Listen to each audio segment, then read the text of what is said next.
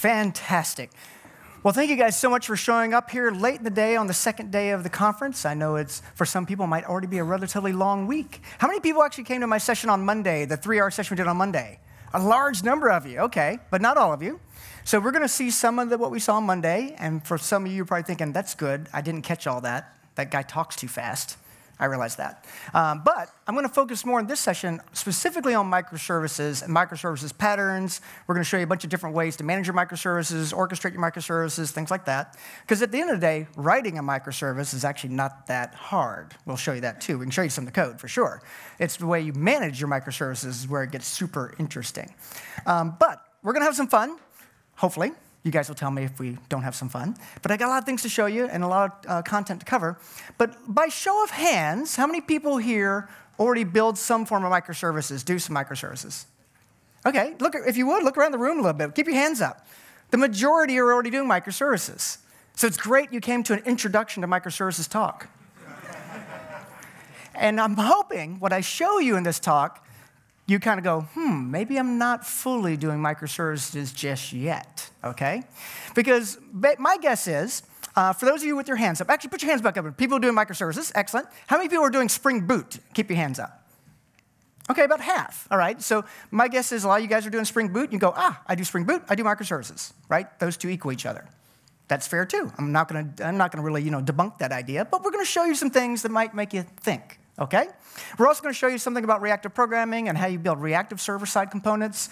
Uh, we spent a lot of time on that on Monday. We'll show you some of the same kind of things you saw there. I did build a new demo overnight to kind of make that point a little bit richer, I hope, uh, specifically around RxJava and Vert.x. All right, and Vert.x is a product or a technology that we specifically have been sponsoring at Red Hat now for a number of years. Just to give you a little background history on Vert.x, because a lot of people don't know it, it was uh, Tim Fox used to work for, for JBoss and Red Hat. I've been at uh, JBoss, Red Hat now for 11 years. And so Tim Fox was part of the team. He did HornetQ, did all these amazing things. And then he kind of moved on to VMware, right? And was part of that Spring team, the Pivotal team, the, the VMware team, if you will. That's where he gave birth to Vert.x. And then he decided he wanted to come back to Red Hat. Um, this sometimes happens in the open source universe. But when he came back to Red Hat, he wanted, of course, still continue working on Vert.x. We wanted him to continue working on Vert.x. And so Vert.x was moved to an independent third party, right? The Eclipse Foundation.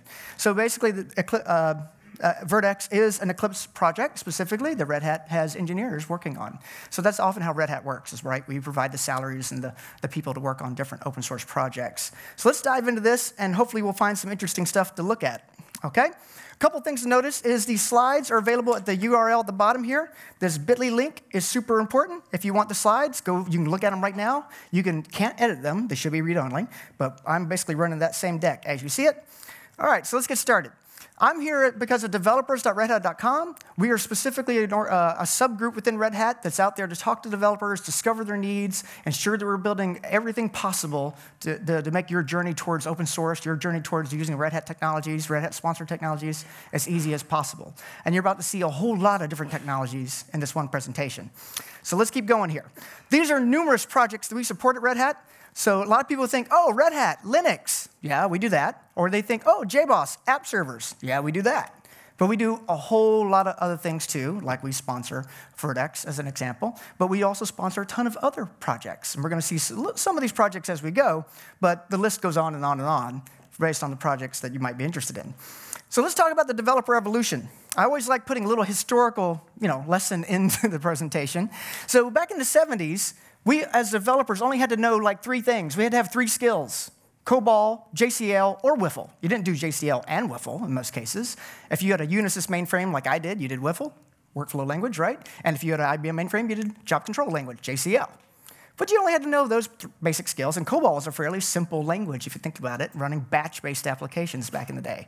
So our lives were fairly easy, I think, back in the 70s, okay? I didn't program in the 70s, just so you know. I know it may look a little older, but in the 80s, however, right? I did do programming in the 80s, and there we learned things like C. Maybe some people got in C++. Some people might have been in Smalltalk, things like that. But mostly it was a C-based world from what I saw of it. We also had a lot of 4GLs back then. I did a lot of 4GL work. We had a lot of CASE back then, computer-aided software engineering. This, is this well predates UML, right? Well, it's before the rational unified process. It's before all that. It's when we really thought you could draw pictures to generate code, and we did. It was really bad code. Um, but that was the world we lived in. I was also a NetWare administrator NetWare back in the day. Remember NetWare? Okay? But this is the set of skills you might have had to have as a good, solid software developer in the 80s. If you had these skills, you got a great paycheck, you did fine, okay? In the 90s, it got a little more complicated.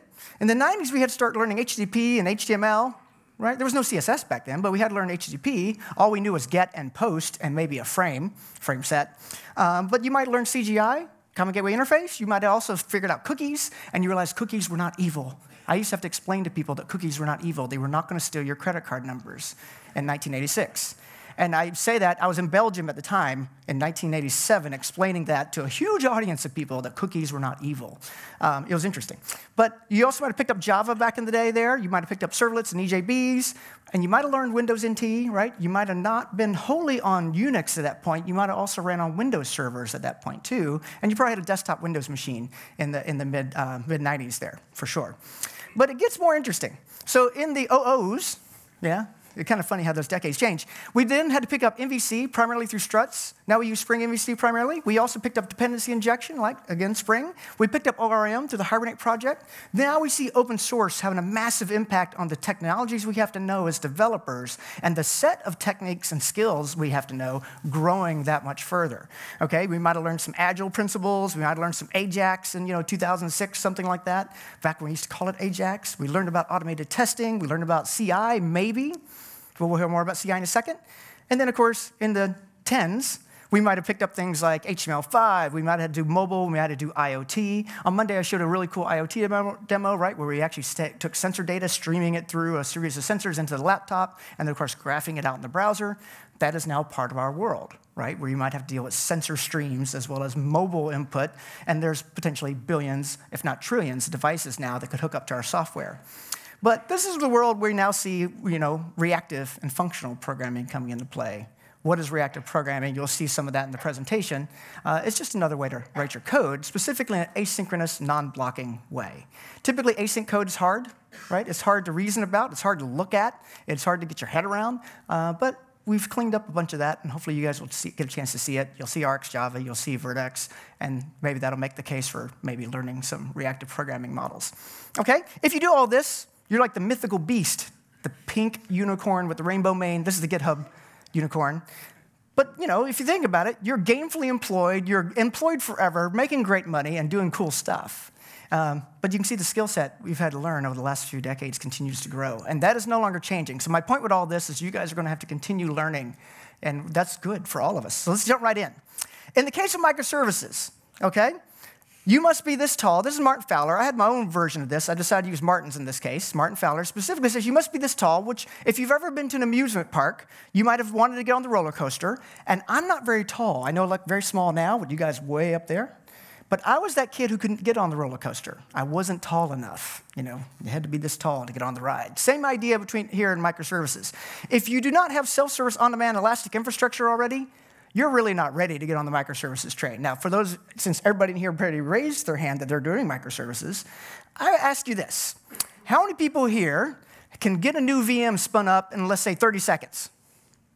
Okay, all right, very good. So there's like six of you of this audience here. How many people does it normally take a week or two to get a new VM provisioned within your IT shop? All right, and you can, don't be embarrassed. It's actually okay. You're among friends okay? How many people are beyond three weeks to get a new VM stood up in their IT shop? Okay? And actually, these numbers are pretty good. I've been to a lot of organizations where they are six weeks and beyond to get a new virtual machine stood up. If that is what you have in your shop today, you have a problem. If you can't get a new VM stood up in minutes, there's a challenge someplace within your architecture, within your operational infrastructure, within your concept of DevOps, right? There is no DevOps in that case because ops is not helping you if you're a developer. So you got to solve that riddle, and it's actually a, a non-trivial one to solve because it actually has nothing to do with technology. It's all about governance. It's all about senior management. It's all about culture. But starting up some form of self-service on-demand infrastructure is one of the most fundamental, trivial things you can do to get your development to move faster. The fact that an expensive resource like a software developer has to wait three weeks to get a resource they need is kind of insane if you think about it. If you have to wait a week to get a resource you need, is it still insane? If you have to wait five minutes, okay, that's reasonable. We often wait five minutes for a cup of coffee to brew. We can wait five minutes for a VM to brew, okay? The next point here is dev versus ops, okay? Who is on the pager for production? Another key test, I believe, in the microservices world is that developers are now accountable for the software in production. We have to hold ourselves accountable, we have to be accountable. And when I used to manage a software engineering team, I found out that if you basically had bug fix Saturday every Saturday after a Friday night deployment, there are no more bugs going out on Friday night. People fix the crap that they own when it's developers and operators over here, and the developers think they can throw their software over the wall on Friday evening, and the operators have to make that bad boy run all weekend, and the developers out drinking, yeah, there's lots of bugs in that software. When the developers are there all weekend too, a lot less bugs the next time around. I guarantee it. So dev versus ops has to go away. It has to be dev and ops working together. It doesn't mean you have to reorg your uh, organizational chart, but you have to fundamentally be accountable for your software in production. So when you hear the concept of a two pizza team, you hear about what all these Silicon Valley companies are doing. One of the key differences, or if not the key difference, is developers own it in production. They're on the pager, not the operators. The developer's the first line of defense that gets that phone call when anything goes sideways, not the operator. So that's a huge one. Automation. Maybe you've heard of the concept of Phoenix server versus a Snowflake server, right? The Phoenix server is one you can burn down to the ground and bring back to life through a script within moments. A snowflake server is a delicate little snowflake, only one of its kind, where somebody SSH'd into that machine, doctored up all the init scripts or system, uh, systemd stuff, maybe even started a few processes and left them in the background, you know, disconnected from an SSH standpoint, and that's what the snowflake looks like. And no one knows how it works. And if you reboot it, it does not come back to life correctly. And this sounds kind of crazy, but you know, if you've been around the uh, IT world long enough, You've seen a lot of these servers. I was talking specifically to a group of people, they're like, we have no idea if we can reboot any of our servers. They have no idea if after a reboot it'll come back to life. So keep that in mind. Okay? Now, CI CD, we have a little bit more on CI CD, is super critical. And actually, let's jump right into CI/CD. Okay? So this guy named Jez Humble did this book called Continuous Integration, Continuous Delivery, and he has a very specific set of tests. And you guys will help me out here. How many people know that in their uh, repo, I'm going to assume you all have source control of some sort, right? We're no longer the pragmatic programmer era where only 60% of people had source control. We know when we used to email the sources back and forth to each other, that was our version control. I'm, I'm sure we're beyond that now, right? I won't ask for a show of hands because someone's still emailing their source code, I know. But how many people know that their trunk and their source control is ready for production, always deployable? All right, good, good, good. So you're, you're ready, always ready to go. And also, everyone on your team is checking into trunk daily. How many people passed that test too?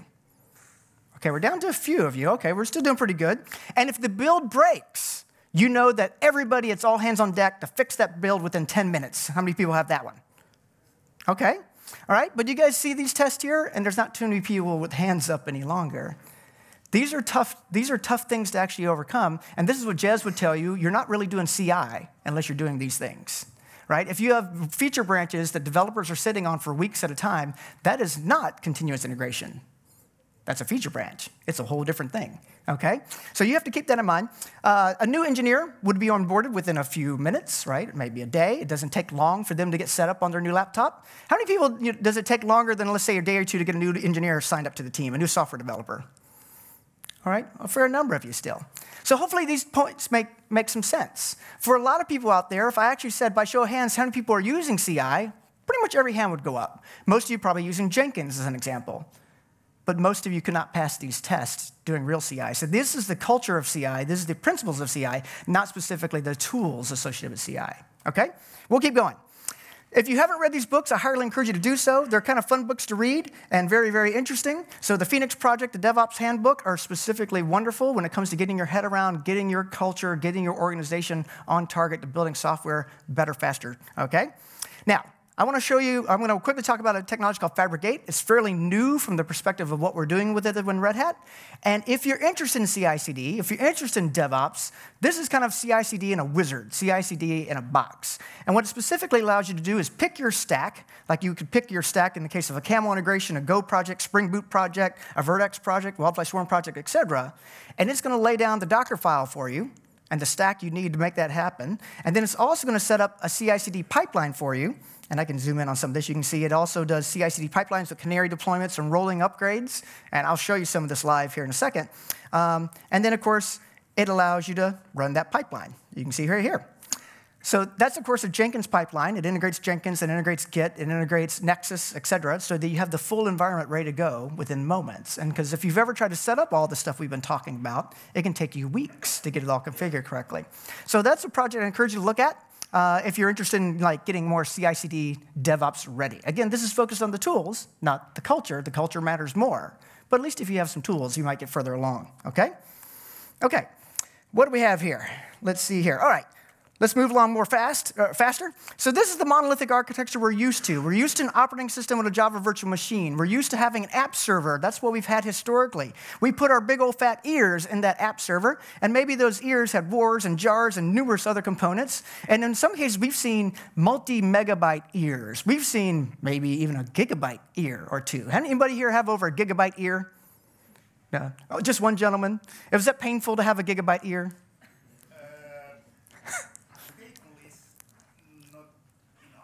Not, oh, you need more. You need two gigabyte ear. That's more than painful. Okay, but yes, uh, so we've had this issue, and here's the tricky part with this architecture that we, you know, kind of promoted throughout the Java E history, J2EE history, is that everyone in this world has to agree to this full stack, this full architecture. So in other words, we all have to agree to the same JVM, the same app server, the same configuration of the app server, and all the data sources and the J, JMS queues and all the other security parameters, the same settings at the JVM level for XMX, right, heap and everything else, the same settings at the operating system, same patch level level, we had to agree all on that architecture. And the part that really got us burned, we were fine with that because somebody in the ivory tower of enterprise architecture set the standard for the stack, so we were good there. But it's when we all had to agree to the exact same versions of the jars we use from Maven Central. That has screwed us up many, many times. In organizations that are fairly large, they'll have 35 versions of Spring in production, as an example. We couldn't get agreement there, and that's been very problematic. And it's problematic because you have large teams, teams that basically work on this big old monolithic guy, right, who basically work on this architecture. You might have 18 programmers and six operators, three DBAs, but they're a large team. In this new world of microservices, it's not about the software, it's about the team structure. So that's one thing that's super fundamental. If you take anything away from this presentation, it's not about the software, it's about the team. If you can break up the team, which means you need to have a smaller code base, because a small team can't manage a big code base, then you have something that's potentially magical. Then you have something that potentially makes your lives vastly easier. So if you're a 40-person team or an eight-person team, makes a huge difference in how you actually build your software, especially if those eight people are wholly accountable for that software in production. So that's really what the two pizza team means. You can feed these teams off two American sized pizzas, not European sized, but American sized pizzas. And then that's six to eight people or so, maybe 10 people. And they will work on their component as if it's a product, not a project. They'll deploy it in production when it's ready to go to production, maybe every day if that's what they need, because they own it in production. They're a service provider, they're a SaaS, software as a service at that point. And this is how your teams have to operate within a typical IT shop if you really want to go fast, right? The whole reason we care about microservices is to go faster to production, and we go faster by having smaller teams that are more accountable. Okay? These are the key principles of microservices. Deployment independence is number one. Just keep that in mind. I and my little team have to be able to deploy our component when we need to deploy it with zero disruption to the rest of the architecture. And I'll show you an example of that when we get to the demonstration so you can see how that works. So independence of deployment is super critical. The coding is actually not that hard. Deployment independence is actually really hard, okay? Now, there's a couple other things here that are also very important. We don't have a lot of time for them. But one I'd call out to you is this decentralized data management. Because people are going to go, what? You mean we can't have our monolithic Oracle database with our six DBAs who sit around like uh, druids at Stonehenge, you know, with their cowled hoods on, with their burning flames over this database we call Oracle. Yeah, you can't have that anymore, okay?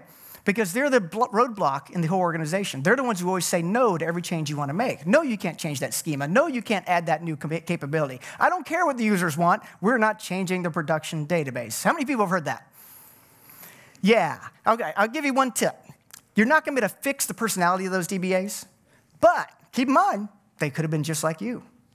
They're techies too. Maybe you should buy them a fake lightsaber and take them to lunch. Okay? And you think I'm kidding? It works. Make them your friend, they'll put your schema changes in faster. But let's. now, we actually have a book that's up and coming. I'm kind of pre announcing here. Uh, Yanaga here, Edson, is going to be actually working on a book specifically related to this issue. How do you deal with the monolithic database? He doesn't deal with the pizza and the lightsaber factor, I don't believe. You didn't put that in there, did you? Okay, but you'll have real technical strategies for how you deal with your schema and how you deal with, you know, essentially, uh, you know, managing a multi-database architecture, distributing data around the enterprise. At a, at, a, at a core level, microservices have these key features that you need to think about as you go through it. Your software is your software, your code is your code, all right? There's not much delta in the code itself, but there's a lot of delta around the code. Like you need some form of service discovery. How does service A find service B? Now we've broken up our monolith into two or three or four or 500 pieces, how does A find B? You need some form of a resilience architecture because if A calls B and B fails, does A also fail?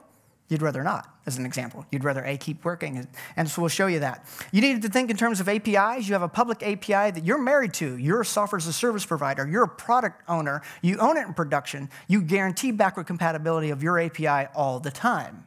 That's how you have to think as a developer in this architecture. Okay? You got to think the invocation model. Most people are using HTTP today. Some people want to use messaging of some sort. Uh, we'll show you just HTTP, just kind of keep it easy.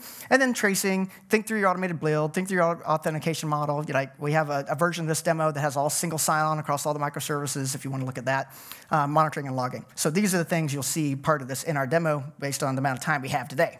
Okay? A couple patterns we'll show you real quick.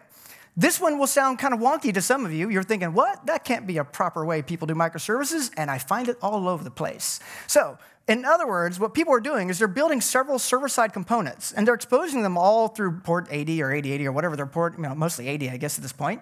And the browser is simply talking to them all. The browser is responsible for aggregating them all. The browser has the business logic, the mobile browser or the mobile app, right, that basically calls API 1, 2, 3, 4, collects the data in the way it needs, and then puts it out on the user interface. This is super common. Now, you guys are probably thinking that's not proper. And I understand that, but this is the way a lot of retailers do it, okay? So I've uh, seen a lot of retailers do it this way. This is actually how I learned this idea was I got it explained to me by a very large retail organization. It's like, no, this is how we do it. And they have millions upon millions of end users, so it seems to work for them. I think at one point they actually advertised 200 concurrent million users on Black Friday, it's that kind of company, okay? So this is how they do it. You know, so basically, each component of the user interface likely has some other microservice on the back end, and this is literally how they do it, because they have to have a specialized pricing engine that's a separate system. They have an inventory control system that literally goes to a mainframe, and they do all this asynchronously from the browser side's perspective. They basically make all these calls independently of each other, so they can collect the data, and the user interface fills in as it can. If, in fact, one of these things fail, you just don't see that in the user interface. That's the way they support their microservices architecture. That might be what you guys want to do. So in the case of this one where it fails on location-based availability here, you can see the in-store pickup, 15 available. It looks at your GPS and says, based on the store near you, you might have one available. If that fails, it just uses the GPS to say, hey, you might have a store near you. We don't know your availability of the inventory because that system failed okay? And you have to plan for failure in this architecture. When you have a distributed architecture of any sort, and in this case, like a mobile app or mobile client, it is likely to fail. And it's not even your fault. The 3G connection failed, right? It wasn't your fault. Maybe your service is still up, or maybe it was just overwhelmed. So just keep that in mind, okay? Another idea. Another one is a lot of people refer to this as the API gateway. Some refer to it as the edge service. Instead of having the browser aggregate all that business logic, they push it back to the server and let the server aggregate that business logic. This is also very common. And you might build this with like Node.js. It's really popular to do Node.js this way as their API layer. Um, but we're also seeing a ton of people using Vert.x for the same architecture because Vert.x and Node.js have the same architecture. It's based on the event loop, all async non-blocking. And you want async non-blocking at your edge services because they're so overwhelmed with load. I'll show you an example, a demo of that in a second. Okay, if that one fails, you got to stop the failure at this level, right? Makes sense? Now you also have the concept of chaining. If you're familiar with the Netflix architecture, they talk about the fact that any invocation through the user interface may hit 20 to 30 to 50 microservices on the back end. So a single user interface construct may have hit 20 or 30 things just to paint the screen you're looking at right now. In which case, if one of those guys goes down, do you have a cascading failure?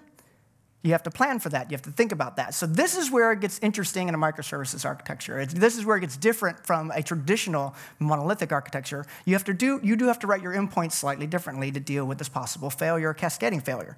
And we'll show you that. And uh, that's specifically part of the circuit breaker architecture. I know I'm moving rather fast because there's some demos I really want to show you. And now's the time to show you. We'll show you the circuit breaker in action as, instead of explaining it, and then you guys can tell me if this makes sense or not. Okay, what we're going to do here uh, yeah, let's do this. I'm going to run the Spring Boot app. Let's see if I have it running correctly. Let me see if I see things correctly. That helps. Okay, we're going to go up here.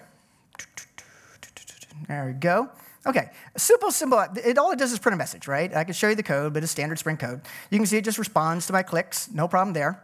Okay, and there's also another API, API NAP here, that's actually rather rather slow. It's doing a long job, and I, I can show you the job. It's just calculating pi to the 20,000 20, uh, decimal points, but it just takes a long time. Okay. So you can see it's a little sticky there. Now, what happens is in a traditional model, enterprise Java model, doesn't matter what it is. I can show you Wildfly Swarm, or I can show you, you know, anything like that. When you hit it with a lot of overwhelming load, let's pound on it here. Watch what happens, okay? It just goes to spinning, spinning, spinning because all the threads associated with jobs that can be done are in use, and there's a queue available, and you see that my browser just got through the queue. And now if I hit refresh again, like a brow, uh, user is likely to do, it's stuck again because I'm back in the queue. So in this case, I limited it to 100 threads, but 100 threads is a lot, especially on an eight core processor with so much RAM dedicated to it on this laptop. Okay? So you got to think in my, every, every thread costs you something, and you have to decide how many of those threads you want. In this case, I'd allowed for 100. By default, it would have taken about 200. But even at 200, if you have more than 200 concurrent requests that take a little time, you're blocked. This is a standard blocking architecture. And I'm not making fun of Spring in this case. It's, it's, that's Tomcat, right? Here's the Wildfly. It works the same way. Has the exact same challenge. Uh, this is the technology that you know I came to know and love and came from. But let's see here. Let's go see if we can get that endpoint up. Come on, get up there. All right, so there it is. Same idea there. If I pound it with overwhelming load again, you can see there's the threads happening.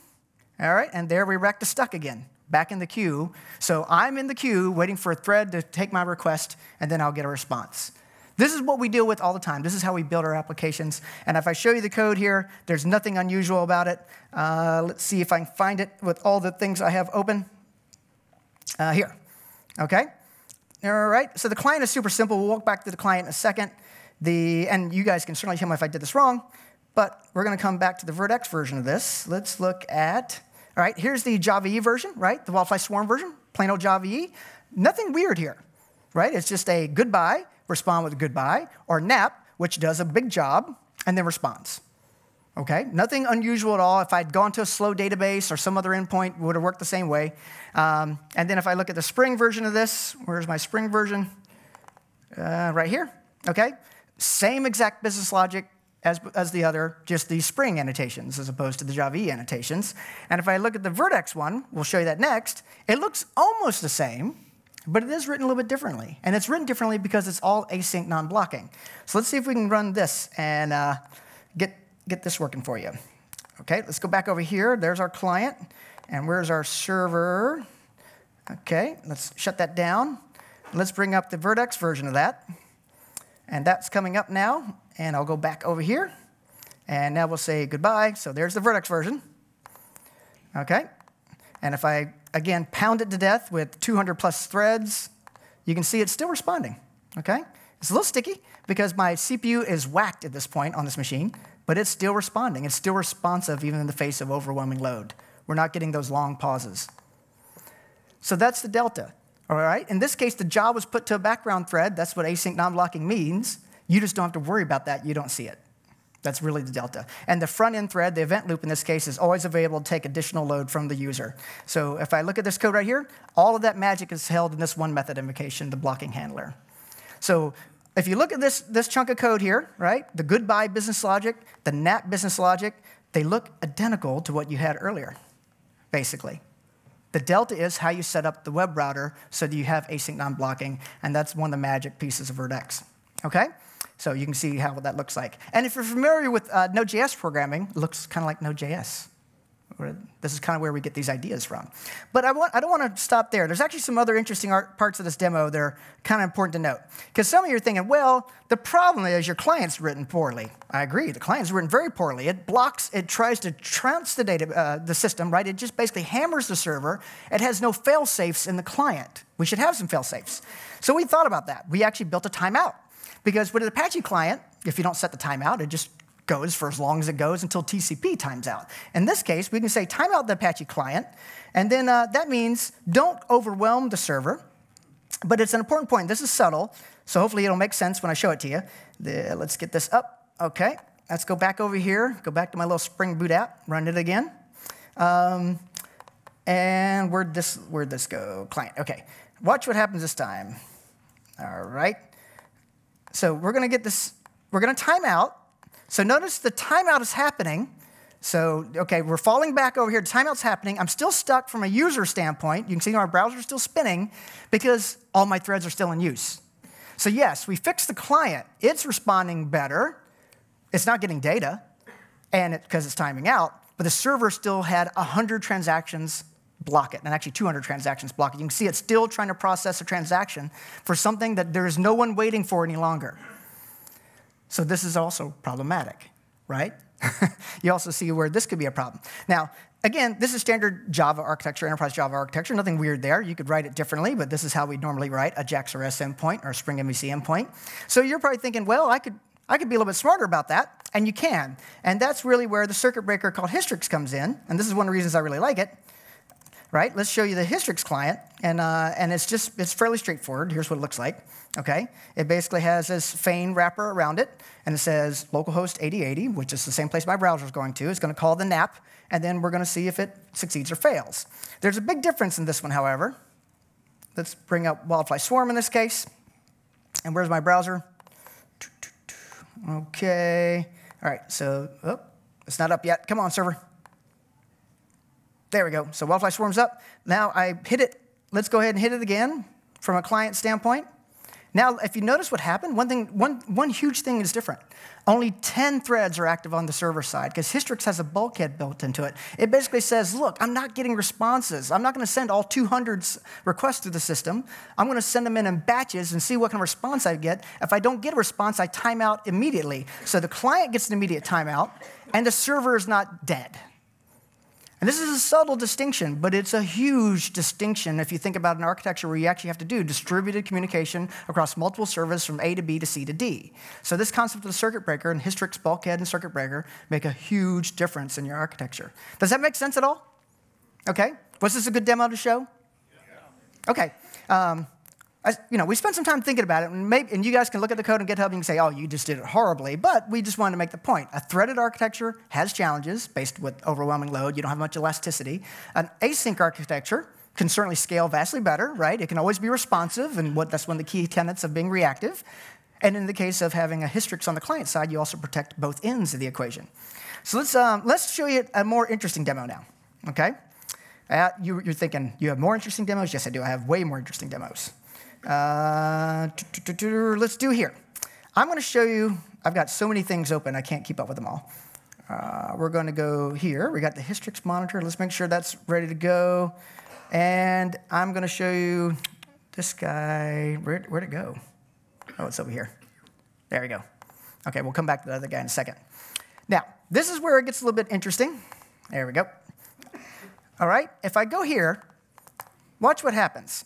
Uh, let's look at our Bonjour endpoint. There's four pods running. So this is where Docker comes into the equation. We built Docker containers out of our different microservices, run them in Kubernetes. I'm running a local Kubernetes cluster here on this laptop. As you can see, I have a ton of Docker containers running right now. I have a lot, okay? I have, I have, almost an overwhelming amount of Docker containers running. These are all independent app servers, is the way to think of them. I have four of that Bonjour endpoint by itself. I have one for the API Gateway, which is a Spring Boot app. I have Aloha, which is Vert.x app. I have the front end, which is another Node.js app. Um, I have Kubeflix running, which you'll see that more of that in a second. And you can see that all this is running right here in a single virtual machine, right here in VirtualBox. Okay, right there in VirtualBox, all running on this, on this local machine. And it's a Kubernetes cloud for all intents and purposes. This allows me to experiment with microservices principles and key capabilities that I think are important, one of which is a circuit breaker. Okay? So let's show you the concept of the circuit breaker. Here we have the front end, and if you look carefully, I know it's a little hard to see. Let's can bump that up. Okay? If you watch right here, that little piece of text is the host name that server thinks it's running on. So every one of these services thinks it's running on a whole different machine. That's the beauty of having a Docker container. It doesn't realize it's on a highly virtualized Linux container, all right? Not even VMs. This is one virtual machine running on this Mac OS X. It's a uh, Red Hat Enterprise Linux virtual machine, and each of these containers is running in their own little machine. It thinks, right? That's the host name. You can see right there. So you can see the load balancing that's occurring for free, all right? let's go, where's, where'd that guy go? We're back up here. Okay, there's four of them. So if we look carefully, we'll see four of those guys working.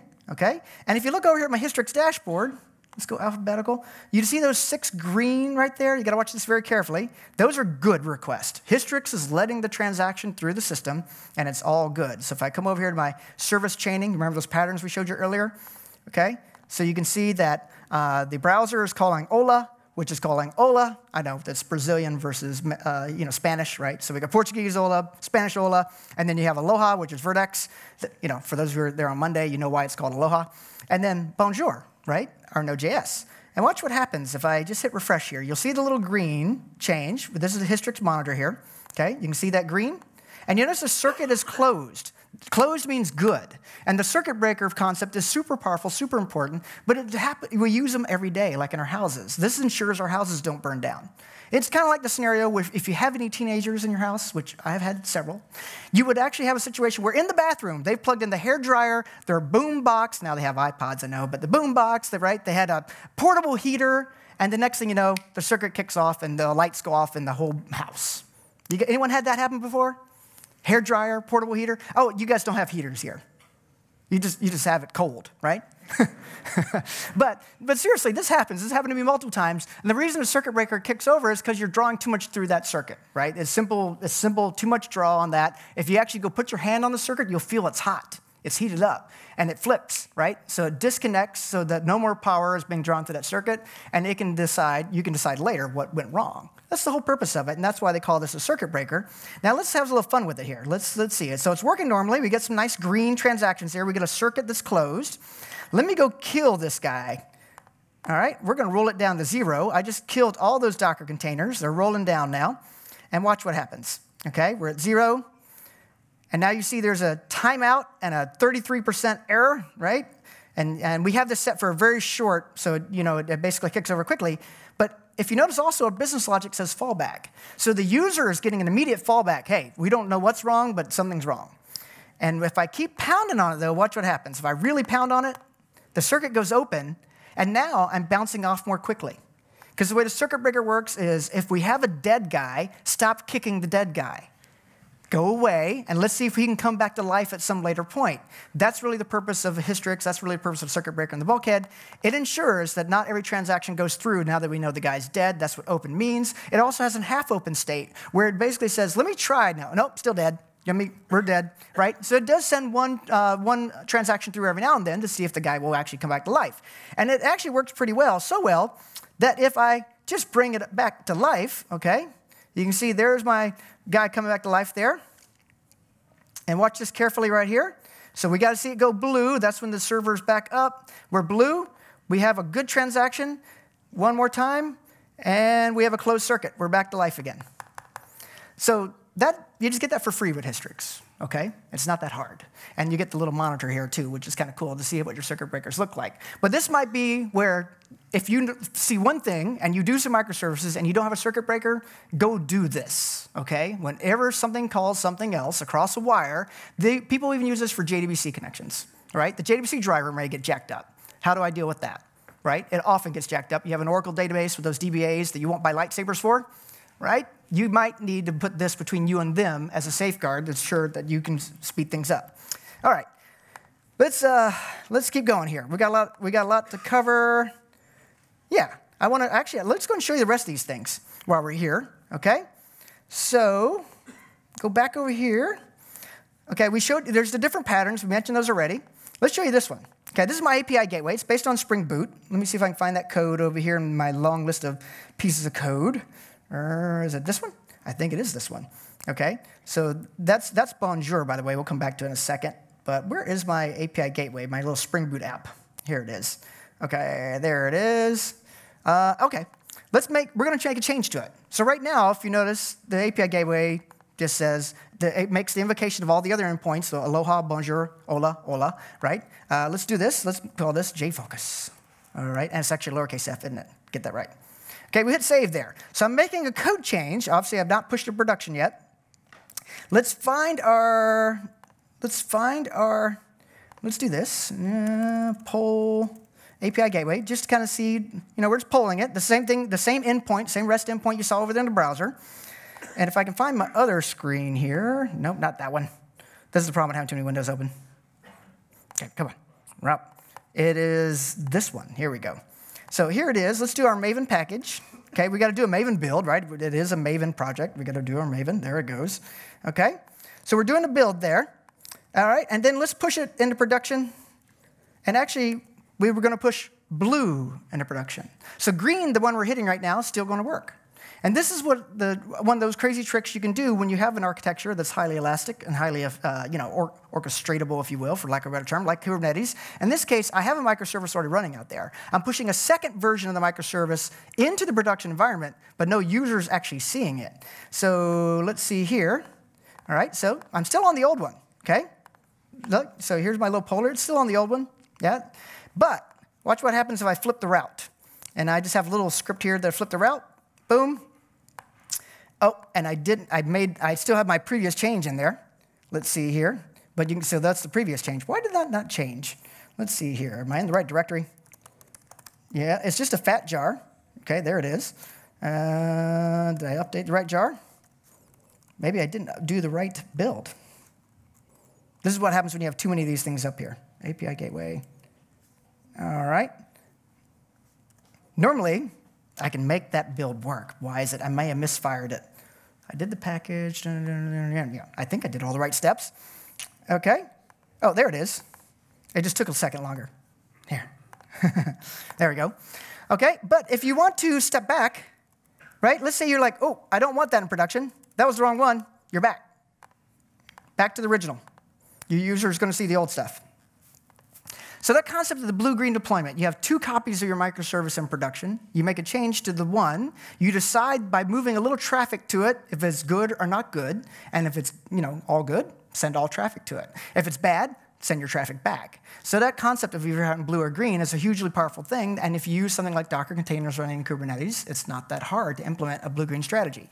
Now, you might not think you actually need this, right? Your system isn't well, it's not highly overloaded. There's not a ton of users on the application. There's 25 concurrent users at peak time on Monday when everyone signs in, that kind of thing. I realize that. However, if you're doing microservices, you're doing it because you want to go faster. If you want to go super fast, like you want to deploy every week, you want something like this to help you go faster because this gives you confidence of pushing what's in trunk directly into production with no outage. That's when we said earlier, if you're doing CI for real, trunk is always ready for production, always ready to deployable.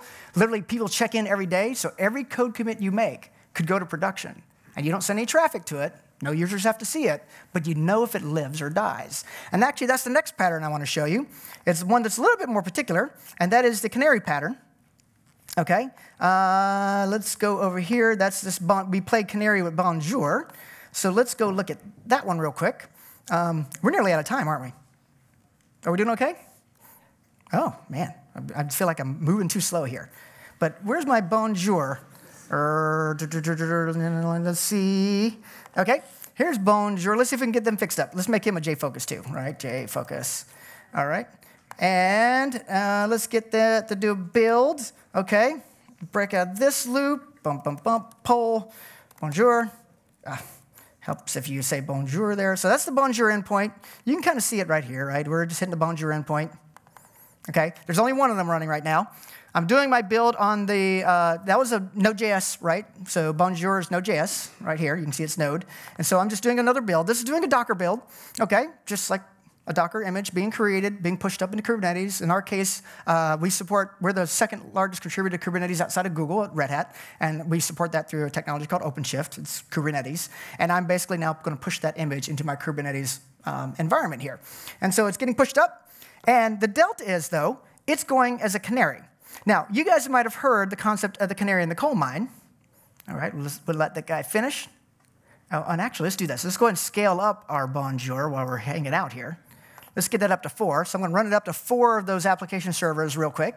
So it's about that hard. That's the nice thing about having Docker containers. You say, I want four of those, I want 12 of those, I want two of those. And Kubernetes is ensuring that you have that right balanced across your entire cluster. If you have 10 servers, it'll ensure you have four across the 10 kind of thing, if that's what you want. Um, But the nice thing about the canary, in the principle of the canary, it may not apply here in Sweden, but it's kind of a big deal in Kentucky in the United States. Because we have a lot of coal miners in the United States. And the coal mining, I don't know if you guys have ever seen it or seen pictures of it, they have to go well under the earth to dig out coal. And the coal is, you know, maybe a 300 meters down below the surface. And when they get down there, when they're digging for coal, they might actually tap into a natural gas line also, because they tend to be near each other, right? They're kind of both of the same byproduct. So they tap into a natural gas line, meaning it's just a piece of, uh, oh, it is, we're about out of time. They, they suffocate and die, so they take a canary with them as an example, okay? So when they do that, that could be very problematic. The canary dies, they need to get the hell out of the mine. So the idea is you do the same thing with your operational concerns. Let's see if we can spin this up now. And let's see how if our canary lives or dies. So I'm bringing up one of the canaries, and there's four of these guys. So there's four of the previous one and one of the new one. And if it comes to life correctly, there's our Jfokus. You're going to see the load balancing occur. So one of every four or one of every five requests gets the Jfokus version of it. And if I decide, whoa, I don't want that version in production, I can roll it right back as an example. Okay? So we only have a couple minutes left, it, it turns out. So let's show you a couple other things here. We kind of walked you through a ton of microservices principles, deployment patterns, but we got to show you some code too, right? That would be more interesting. So in this case, I want to show you a piece of code that I just worked on because um, it's super interesting from the perspective of how do you deal with microservices again. So in the case of microservices, you often are having a service A call service B, okay? And so in this case, I literally am doing that. I'm going to have a microservice that comes up on port 8080. Let's go and bring up a browser. And Okay, let's, okay, that works. And what it's doing is it's basically an aggregation endpoint hitting other services. So if we look at these other services, it's basically making a call to 8081 for users. So if I go to localhost uh, 8081 slash users, I get that list, okay. It's then making a call to 8082 for followers. And if I go to localhost 8082 followers and a specific follower, it gets that data. But on this endpoint, it aggregates it all. And this actually will work against the GitHub API. I have it working off localhost right here. But this is an example of RxJava allowing me to make that client-side invocation, getting observables back, and doing all this async non-blocking. And so if you have to make calls across the wire, this makes it a ton, ton easier. If you're dealing with AngularJS or RxJS, right? AngularJS 2.0 includes RxJS, you're used to this code already. This is what your client-side developers are doing already with Angular 2. You can do it on the server side also, in this case with uh, a piece of Java code. Oh, man, we really are nearly out of time, aren't we? Let's see if there's anything. Uh, there's one more thing I got to show you guys because we're going to have a little fun here. Okay? So we talked about Vert.x. We kind of didn't do much justice, you know, give you a lot of introduction to it, but it is a full platform for you to build out whole enterprise applications fully in an async, non-blocking way. That includes async database drivers, async integration with the DNS, async integration across the board. You know, so certainly take advantage of that. Uh, we'll keep going here. These are the key principles of being reactive, and they're super simple. Be responsive. You saw an example of responsiveness already. Be elastic. You saw an example of that in the demonstration. You're right. We can scale easily up and down. Be resilient in the case of failure, because failure will happen in distributed architecture. You saw that in the demonstration also. And be message driven. That should be fairly obvious. Okay. You saw these principles hopefully in the demonstration itself. One thing I want to do though before we run out of time, because it's super, it's going to be fun. Okay, let's run this demonstration. We did it on Monday. I want to do it for you guys again. But basically, I'm going to show you an example of a microservices architecture with a full Vert.x system on the back end and what it can do for you. We're going to run a real-time game, and the game has an um, admin screen, a user screen, and of course, different screens for actually doing the the uh, actually doing the um, dashboards. All right, so let's get the scoreboard up here. Let me get my leaderboard up here. You guys can go to demo.red, uh, demo.burr.red okay? And actually have some prizes for the winners. So you'll, you'll want to get in there. Let's go here, and let's hit start, start, start, start. All right, okay. All right, looks like we already have eight players in, nine players in, already popping some balloons there. You should be popping those balloons on your phone. And where's my other screen? I've lost it somewhere along the way. Here, let's just bring it up. Uh, demo.burr.scoreboard. Okay. Oh, wait, we already had a scoreboard up. Leaderboard. And this is an example of real-time game, all WebSocket based, all async, all microservices backend. There you guys are up on the leaderboard. But you can see the pops you're making are having real-time changes on our screen here. And I can also have real-time changes with you, okay? Like if I really wanted your attention, I could pause you. Okay? So think about that for a second. What can you do with your applications with this kind of capability? And again, it's all async non-blocking. Let me start you back up again, and I'll actually make some changes, make this a little bit easier. Let's give you bigger, fatter balloons. Uh, uh, red are 10. I'll add the golden snitch and give you a background change as well, and then go. All right? Now you got bigger, fatter balloons and you can score points. You notice that you're getting notifications also based on your point totals, and you can see here on the dashboard that's changing in real time based on how you're performing. So that's an example of a reactive, async, non-blocking application, all microservices architecture. All this is on GitHub, all the code, by the way. This is just running on a single VM instance uh, at EC2 right now. And you can see it's handling a fair bit of load just based on the people we have playing right now. 73 of you playing, 77,000 transactions through that architecture. Because each balloon pop is a transaction all the way through the back end into our Drools rules engine, making a calculation of your achievement, back out to the browser to let you know your score, and out to these browsers to let everyone see the uh, composite score. Now we're out of time, aren't we? All right, fantastic. So here's what we're going to do we're going to game over. All right? And if you're in the top 10, come see me. I have something for you. So thank you guys very much for your time. If you have any questions, feel free to hit me up on Twitter or come see me afterwards. Thank you.